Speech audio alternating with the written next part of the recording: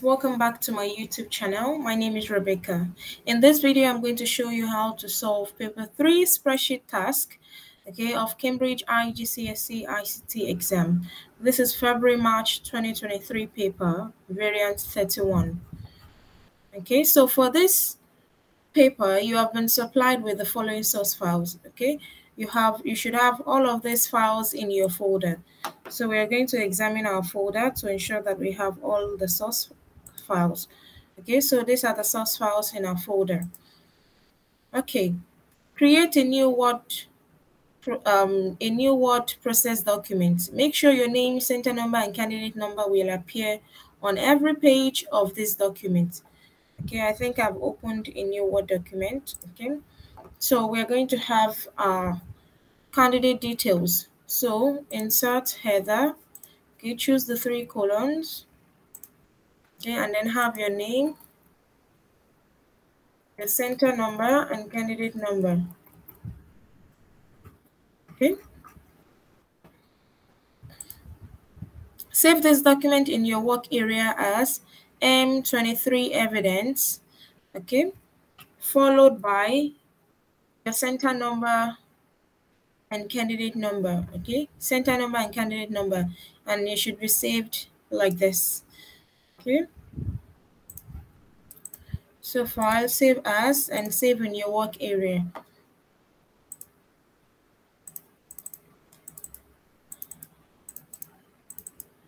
Okay. Save as word document and then cross the name. So center number and then candidate number. Then save Okay, that has been done. Okay, task two, which is the spreadsheet task. The Tawara Cricket Club records on a spreadsheet the number of runs scored by each player in each match that they played. Open and examine the file m23batting.csv in your spreadsheet software. Okay, so we're going to open the file m23 batting. Okay, this file.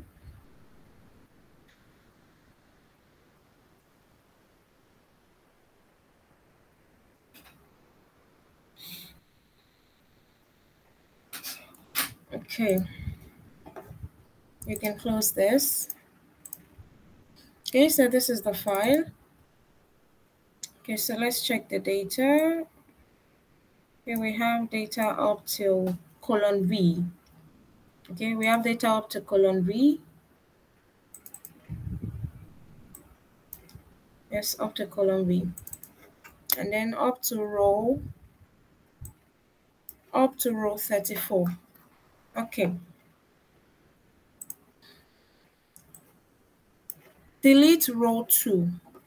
Delete row 2. So this is row 2. Just click here and then right click and then delete. Okay, insert a new row at the top of the spreadsheet. Okay, insert a new row at the top of the spreadsheet. Okay, right click, insert.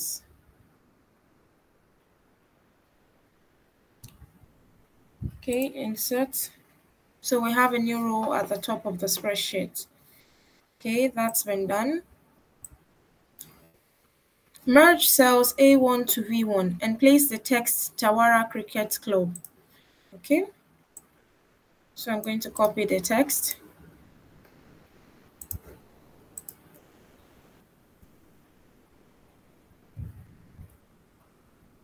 And this is the text, and then I'm going to merge the cells.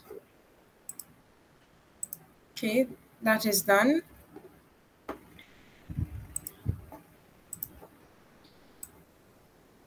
Merge cells A2 to V2. Okay, merge cells A2 to V2. A2 to V2. Okay, merge.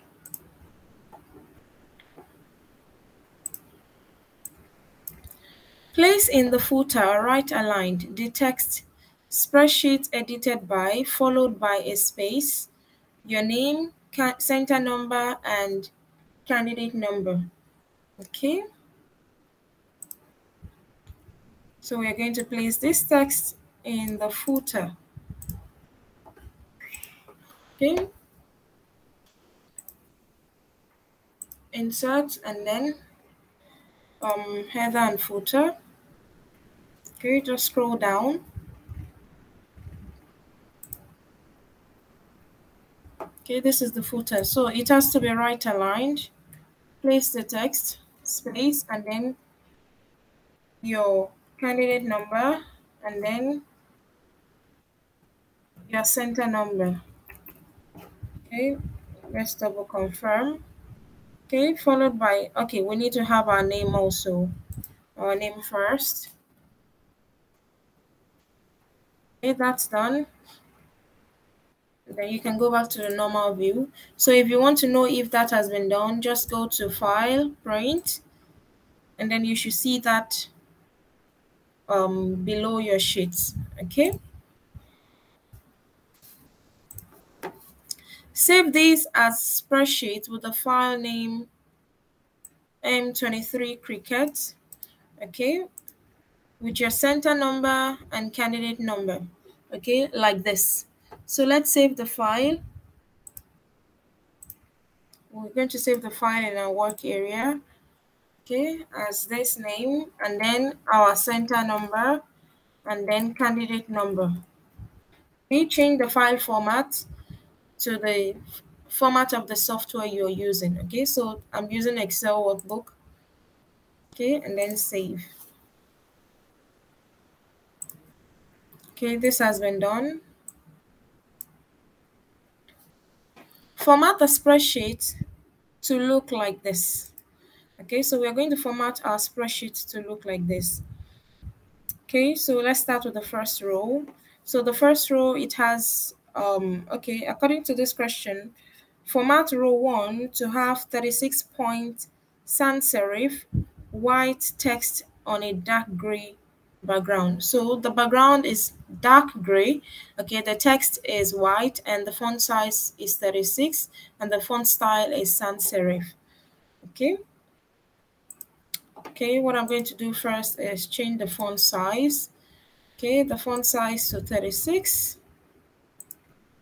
Okay, the font style, sans serif. Okay, sans serif is Arial. Okay, we're going to use Arial. Okay, and then the background color, okay, should be dark. Um, let's see. Let me double confirm. It should be it should be dark gray okay dark gray okay so it is gray but it's dark okay and then the text color is white. Okay i believe this is what we need. Okay i think we need to make it more darker. Okay let's choose this. Okay that is done. Okay, and it says row 2 have 18 point sans serif black text on a light gray background. Okay, 18 points, row 2, Arial. Okay, 18 points. Okay, the background, okay, let's check, change the text to the text is, let's see. Okay, the text is black, okay, and a gray background. Okay, gray background. Yes, something like this. Okay, so that has been done. Okay, so let's look at row three. If we look at row three, we'll see that the the text are textual, okay? So if you look at the text, you can see, okay, this row colon U and V is actually wrapped, okay? But I'm going to adjust, what I'm going to do is, I'm going to adjust, okay, I'm going to adjust this, okay and then I'm going to make this middle aligned okay and then I'm going to adjust this to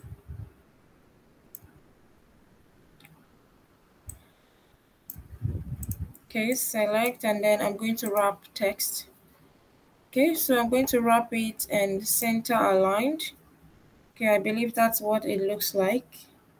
Number of matches played. Okay number of matches played. Off is separate. Okay adjust this. Okay that's it um, let's see the alignment of the other text. Okay all of these are aligned. Okay so we can see that these are aligned especially this. This is aligned center. Okay. So I'm just going to make this aligned center. Okay center. And when you look at the um, the text from A4 up to A31 you can see that it is right aligned and every other um, cells okay from B4 up to um, this side okay we can see that it is center aligned okay? So I'm going to select this okay up to here right aligned okay and then this. Up to here also 31 okay is it 31 is center aligned.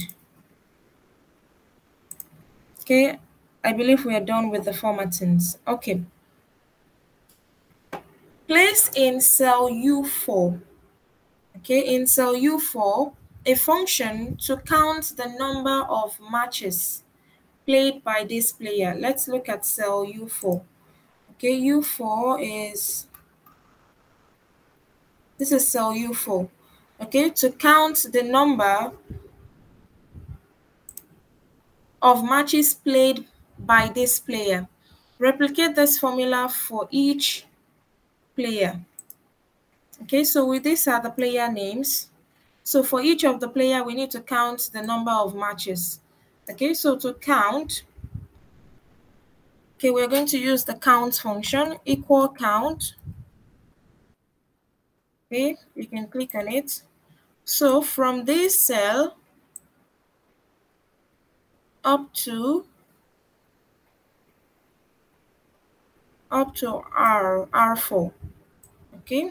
Up to R4, then you close the brackets okay and that's it. Okay so we're going to replicate the same formula for all. All we are just going to do is drag to 31 okay that's it. I believe it's up to 31 yes. Okay so this has been done.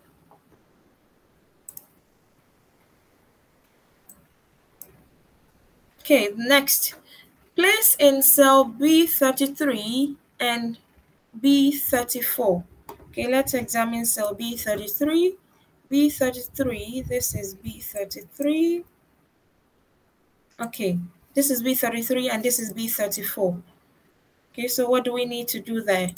Okay, we need to place a function to display the highest and the lowest scores for this match.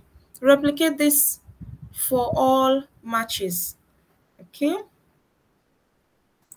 So we are going to use the function max and minimum min. Okay, max is for maximum and min is for minimum. So what we are going to do is equal max. Okay, max from which range? Okay, from B4, okay, up to B31. Okay, you can type it or you can select it and then you close. Okay, that's it. Okay, and then for minimum, the lowest score, we also use the function mean. Okay, mean from B4 up to B 31. Okay, and then you close the bracket. Okay, that's it. So we need to replicate this formula. So you just drag up to here. Okay, same thing for the minimum. Okay, you drag okay up to here I believe oh okay up to R okay we need to drag up to R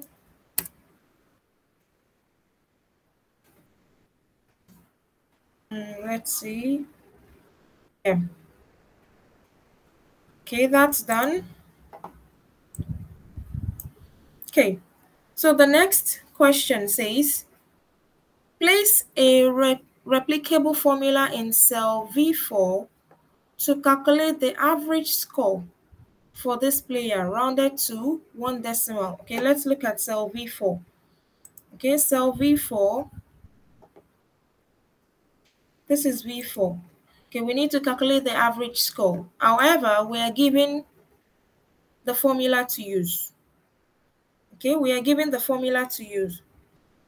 So average score equal total runs score, okay, over number of matches played minus not out, okay, minus not out. So how can we do that?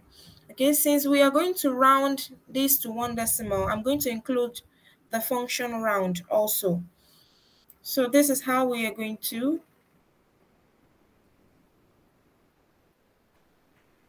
Okay, I just want to note that down. Total runs, runs scored over none of match played minus not out. Okay, so cell V4. Also, we're going to have the equal round, okay? Then, okay, so we need to sum the total of match played. Okay, so we're going to use the sum function. Okay, and then which cells are we adding together? So we're adding from cell B4 up to R4.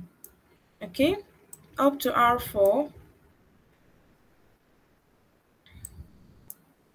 Okay, I'm just going to finish it up here because I cannot see okay, up to R4, then close the bracket, then divide, okay, divide by what? So we are dividing by numbers of match played, okay, minus not out. Okay, so number of match played is in U4, okay? So we are going to have bracket, okay? So you can check here for the formula as I'm typing, bracket U4 okay this is u4 okay minus minus not out t4 okay t4 then close bracket. And then i'm going to have comma one okay meaning that it should round up to the one one decimal place then i will close the bracket okay and then enter Okay, I think we have an error. We found the typo in and to correct. Let's see. Equals sum B4 to R4, open bra close bracket, divide by U4 minus T4, okay, comma Yes. Okay, now the reason why we have U4 minus T4 in the bracket is, is so that it calculates u4 minus t4 first, okay, before dividing. If these two are not in the bracket, it can um, use u4 to divide before the sum of b4 and r um, to r4, okay? So that is done. Okay, so this has been done. And this this formula to make sure that cell contents are not displayed if this player has played fewer than five matches. Okay, if this player has played fewer than five matches. Okay, so this is what we are going to do. Okay, in the formula, I'm going to make use of the if function. Okay, so if if u4, okay, if u4 is less than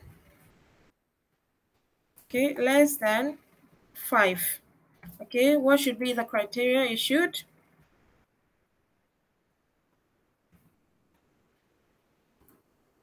okay it should show empty okay. And then I'm going to close the bracket. Okay. So that has been done. Replicate this formula for all players. Okay we just need to drag. Okay.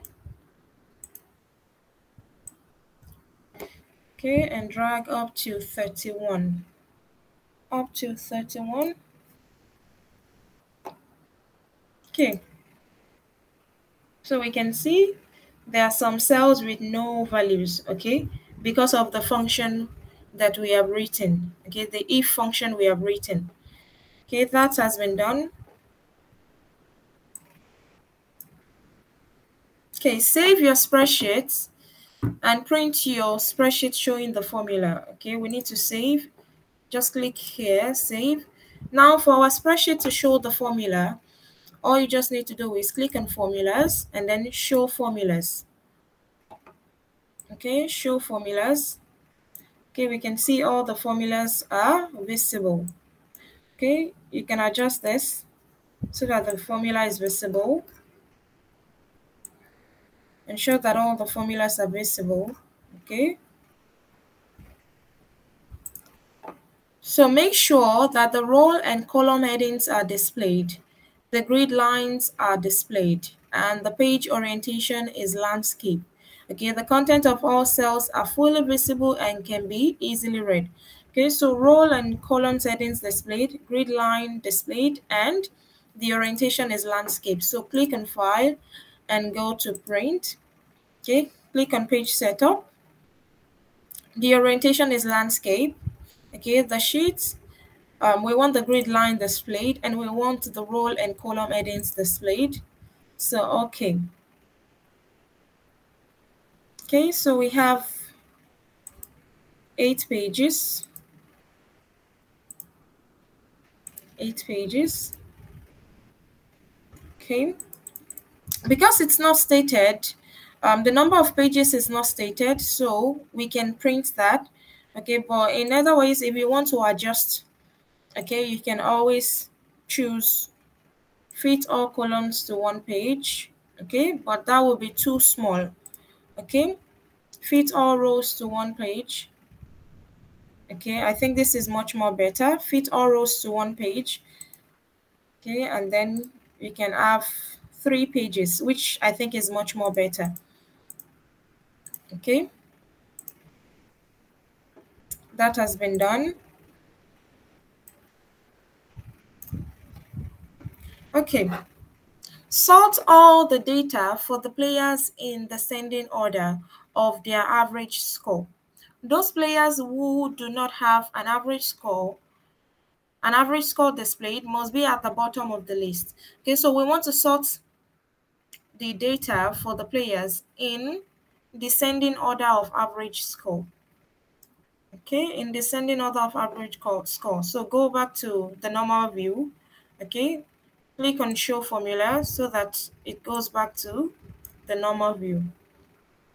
Okay, so what we're going to do is we're going to select, okay,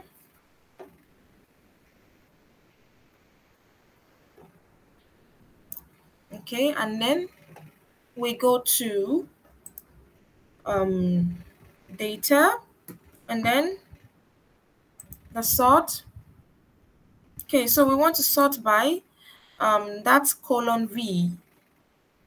Okay, colon V so we are starting in descending order, if I'm not mistaken, descending order. So that is from largest to smallest. Okay. Okay, and that has been sorted. And we So we can see that it has been sorted from largest to smallest. But we can see that the empty cells, okay, is at the top. And in the question, it says that those players who do not have an average score displayed must be at the bottom of the list. Okay, so what we are going to do is, so this is from up to row 9, okay, up to row 9. So I'm going to copy all the data up to row 9. Okay, I'm going to copy and I will paste somewhere around the sheet. Okay. Okay, then I will come to this up to row 31. Okay, cut, and then I will paste here.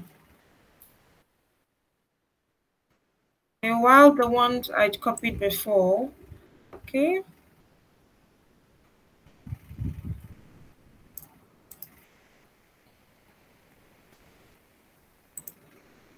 okay and then I will paste them here.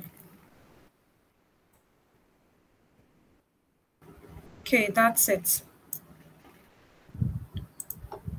Okay so this has been done save your spreadsheet with a file name okay we need to save our spreadsheet with this file name alongside our center number and candidate number okay for example like this okay so let's save our file file, save as, save in your work area. Okay, save it as this, and then your center number, also your candidate number. Okay, and then save. Okay, print your spreadsheet showing the values. Okay, make sure that the row and columns headings are not displayed. The grid lines are not displayed the orientation is landscape, and the content of all cells are fully visible and can be easily read. Okay, to do that, go to File, and then Print. Okay, so our orientation is already in landscape, okay, but we don't want grid lines or the headings. Go to Page Setup, okay, Sheets, and then uncheck the grid lines and the row, row and column headings. Okay. Okay, so we have four pages. Okay, you can print um, the four pages this way. Okay, or you can, I will advise to, you know, maybe use fit all rows to one page. Okay, I think this is much more better. You have two pages. Two pages. And if you don't want scaling, you just choose no scaling. And that's it. Okay, so this has been done. Do we have any other question? No. Okay, so that's all, guys. Thank you so much for watching. Please do not forget to like, share, and subscribe. I'll see you in my next video. Have a wonderful day.